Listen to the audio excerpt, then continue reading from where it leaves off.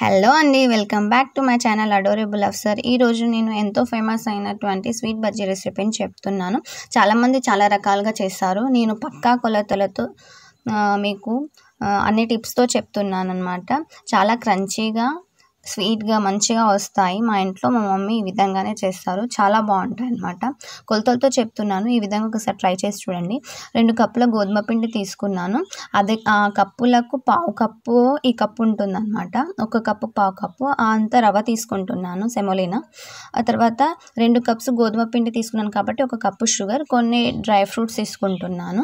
And three four ఇలాచీ అనమాట నేను పాకం పెట్టి చేస్తున్నాను. కొంతమంది అదేవిధంగా డైరెక్ట్ చేసేసారు. నేను పాకం పెట్టి చేశాను.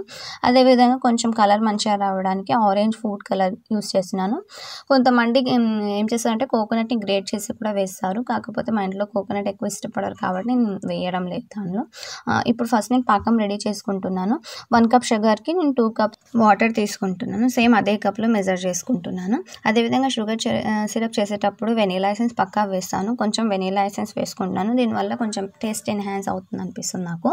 ఒక ఫోర్ ఇలాచీ వేసాను మీరు క్రష్ చేసి కూడా వేసుకోవచ్చు. నేను డైరెక్ట్ వేసాను కలిపేస్తున్నాను. దీన్ని కొంచెం మంచి పాకం వచ్చే వరకు ఇచ్చేయాలి. కొంచెం దానిలో నేను ఏం చేస్తాను ఆరెంజ్ ఫుడ్ కలర్ తీసుకున్నాం కదా అది వేసేసుకున్నాను. నాకు ఒక five ten minutes fifteen minutes పట్టింది అనమాట అది రెడీ కావడానికి. ఇప్పుడు టూ కప్స్ గోధుమ పిండి తీసుకున్నాం కదా అది తీసుకుంటున్నాను.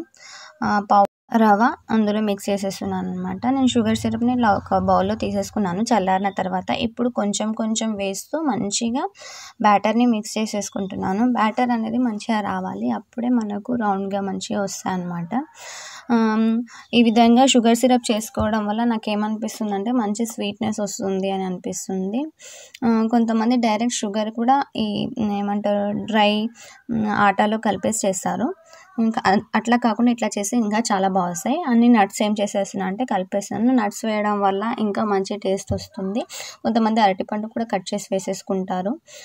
ఇక్కడ ఇంకా సోడా వేసేస్తున్నాను అనమాట సోడా వేస్తే మంచిగా గుల్లగా వస్తాయన్నమాట మన బజ్జీస్ అనమాట స్వీట్ బజ్జీస్. స్వీట్ బజ్జీస్ అనేటివి పిల్లలు చాలా బాగా ఇష్టపడతారు. మా ఇంట్లో కూడా చేసి అస్సలు మిగిలించారు. కొంచెం సేపు రెస్ట్కి వదిలేసాను. ఒక టెన్ మినిట్స్ వరకు. టెన్ మినిట్స్ అయిపోయింది. ఇప్పుడు వేడి వేడి నూనెలో డీప్ ఫ్రై చేయడమే. వేడిగా ఉండేటట్టు చూడండి. ఎప్పుడైతే మీరు వేస్తారో కొంచెం బాగా వేడిగా అయిన తర్వాతనే మనం వేసుకుంటే మన బజ్జీస్ అనేటటువంటివి తొందరగా వదులుతాయి అనమాట లేకపోతే కింద అంటుకుంటాయి. అలా అంటుకోకుండా ఉండాలని అంటే కొంచెం వేడిగా ఉండాలి నూనె. ఆ తర్వాత ఎప్పుడైతే వే వేయడం అయిపోతుందో అప్పుడు సిమ్లో పెట్టేయండి కొంచెం. కొంచెం సిమ్లో కాదు మీడియంలో పెట్టేయండి. మంచి brown and golden brown colour వచ్చిన తర్వాత తీసేయడం అంతే. అదేవిధంగా అన్ని విధ అన్ని స్వీట్ బజ్జీస్ అదే విధంగా వేసేసుకున్నాను అనమాట చాలా క్రంచీగా చాలా డెలీషియస్గా తయారయ్యాయండి. మీ పిల్లలకు చేసి పెట్టండి తప్పకుండా ఇష్టంగా తి- తింటారు. వీడియో నచ్చితే లైక్ చేయండి. అదేవిధంగా cooking and baby related videos కోసం నా ఛానల్ని సబ్స్క్రైబ్ చేసుకోండి. ఒక్కసారి ట్రై చేసి చూడండి. తప్పకుండా నచ్చుతుంది. బాయ్